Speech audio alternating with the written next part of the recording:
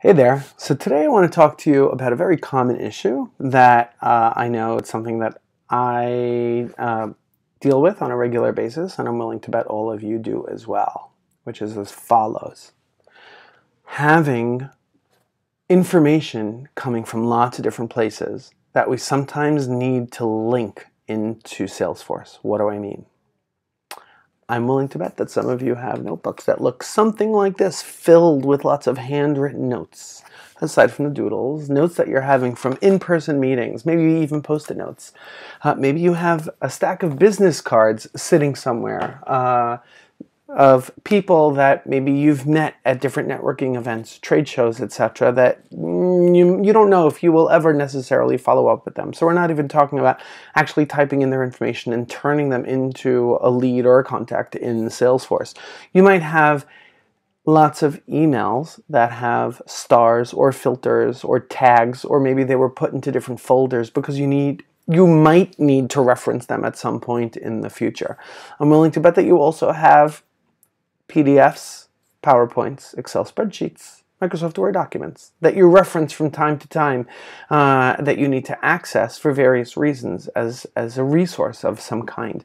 Perhaps even websites, blog articles, news articles that you need to reference from time to time. And getting all of those organized in some easy way so that you can quickly get access to all of them is a challenge that most of us are faced with. I will tell you that for the past several years, I honestly don't even remember how long, it sort of feels like forever, I have been using a tool called Evernote to keep track of all of this stuff, all of the stuff that I refer to as unstructured data. So, again, what am I talking about as far as unstructured data? Um, it could be emails, it could be handwritten notes, it could be photos, photos of products, photos of people, photos of offices, photos of events. Um, it could be snapshots of documents, uh, business cards, other documents that I receive from other people, process maps uh, that I've received from other people, blog articles that I want to reference, LinkedIn profiles, company profiles, or uh, person profiles from LinkedIn. Um, blog articles of new features that are coming out uh, related to Salesforce or common issues that and how to solve for them that I need to organize on a regular basis. So I use Evernote in order to organize, to track all of this stuff. If you're not familiar with Evernote, Evernote is essentially a cloud based tool to uh, store and organize all of your notes. With each note, you can also add in any type of commentary. You can also add tags. You can take notes and you can organize your notes into notebooks. You can organize your notebooks into binders. You can also then share different notebooks with different with other people. So you can have some notebooks that are private, other notebooks that are shared with others, whether they are internal to your organization or external uh, to your organization. There are many reasons why I love Evernote. Evernote, by the way, is um, it's a desktop app for PCs and for Macs. There's also an Evernote web uh, mobile app. There's also the Evernote website. So if you don't have any app whatsoever, you can simply go to the Evernote website, log in with your credentials, and you will have access to see all of your notes, all of your notebooks, all of your binders. Um, one of the many, many cool features that I love about Evernote is the fact that Evernote does character recognition on any photo of any kind. So it could be uh, hand the handwritten notes that I was talking about earlier. So long as my penmanship is somewhat leg- legible, I can, if I happen to scribble the word yellow in my handwritten notes, and then I snap a photo of that note and put it into Evernote, I can then search for the word yellow and my note will come up. If I take a picture of a product and the word yellow is written anywhere on that product, so on a book cover, or I'm taking a photo of a product in the supermarket and I'm um, in the photo I snap all of the ingredients are captured within that photo. If the word yellow appears in any ingredient, it will then be readable through Evernote. So I can simply search all of Evernote just for the word yellow, and those photos will come up. To me, that's pretty darn cool. That's a game changer. in, in many ways.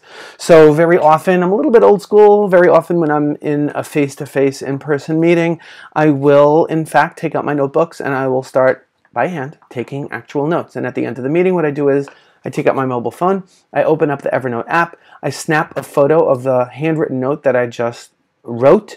I will uh, typically put it into a particular uh, notebook based on the client, the project, something related to whatever it is that the, the note was about. Uh, I will also use the native dictation feature on the mobile app in order to dictate any additional commentary that I want to capture. Uh, maybe it's some form of keywords or other narrative background. So I, I might add something like, uh, this was these are my handwritten notes from the meeting on December the 14th, 2017 in 123 Main Street, New York, New York, with John Smith from Acme Corp regarding the blah blah blah project. Um, that's what I'll do all on my mobile device. And as soon as I hit save, that's it. It gets uploaded into Evernote. Uh, and the word, all of the, my handwritten words will in fact be searchable. One of the other really cool things that I love about Evernote is its integration with Salesforce. And I can honestly tell you that the first time I heard anyone suggest integrating Evernote with Salesforce, um, my jaw dropped. I thought it was a little odd. Uh, like, why would you even consider doing that? Evernote, by its definition, is unstructured data basically you could throw anything in there. I could I could throw video recordings, audio recordings, PowerPoints, I mean anything, all in the same one note. Let alone they could be in separate notes.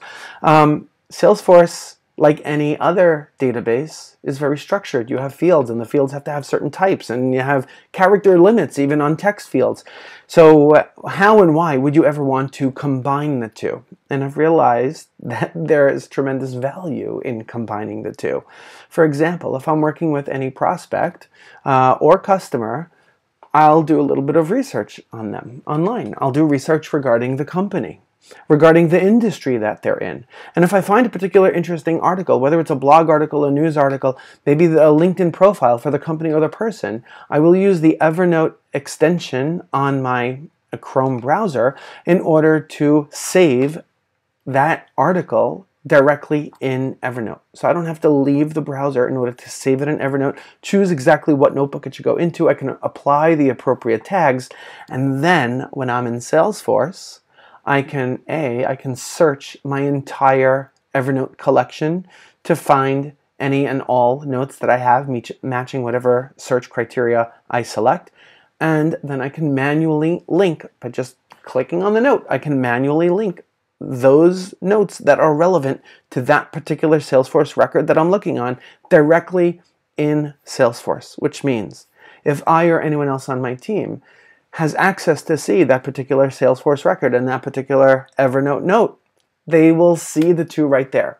So if someone on my team is looking at my handwritten notes with John Smith from Acme Corp, I'm sorry, if they're looking at the John Smith record in Salesforce, they will in fact have access to see the handwritten notes from my in-person meeting with John Smith from that particular meeting because it will be linked in Evernote in Salesforce. Those uh, records will be linked. The Evernote note will be linked to the appropriate Salesforce record. To me, this is really cool stuff, uh, which is why I thought it was worth sharing with you guys. What I'm going to do is I'm going to add to this recording, I'm going to add a link in the notes so that you can see a YouTube video created by Evernote showing a little bit more, giving a demonstration of how the Evernote and Salesforce integration works. Uh, I'd love to hear your feedback if you've used Evernote or if you've played around with Evernote. I'd love to hear your, your feedback on how you use it. I'd love to learn some best practices from you guys. Otherwise, have an amazing day. Bye bye now.